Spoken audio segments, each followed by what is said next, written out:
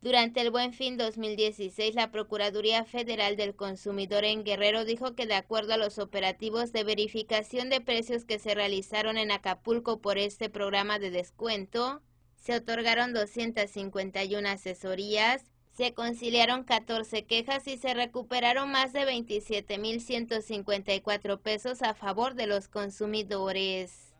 En entrevista, el delegado estatal de la Profeco, Saúl Montúfar Mendoza, también mencionó otros resultados luego de haberse instalado 18 módulos de atención al consumidor en los municipios de Acapulco, Tasco, Cihuatanejo, Iguala, Chilpancingo y Ciudad Altamirano. Esto desde el inicio del programa de descuento El Buen Fin.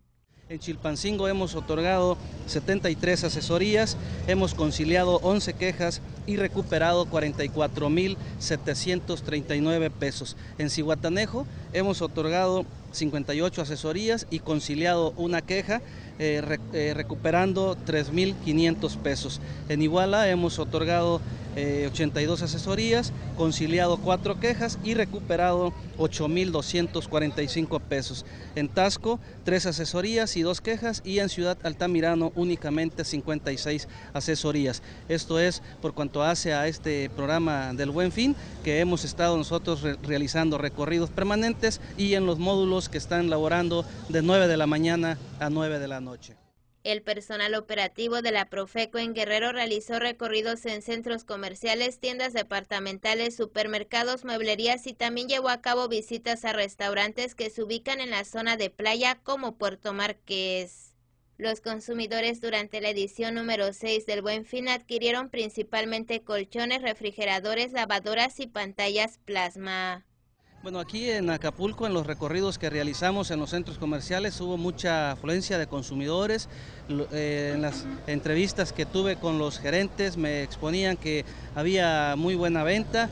Eh, nosotros checamos las ofertas, los descuentos, que estos fueran, fueran reales. Realizamos comparativos con los precios que recabamos días antes al Buen Fin y durante el Buen Fin y nos dimos cuenta que sí estaban aplicando las ofertas, estaban aplicando estos descuentos. Tan es así que, que hasta este momento únicamente llevamos 14, 14 quejas, pero estas han sido todas conciliadas a favor de las y los consumidores. Durante el puente turístico por el 20 de noviembre, la Profeco a través de recorridos mantuvo cercanía con los visitantes en las playas y restaurantes. En la zona turística de Puerto Marqués se recibieron tres quejas por parte de los vacacionistas.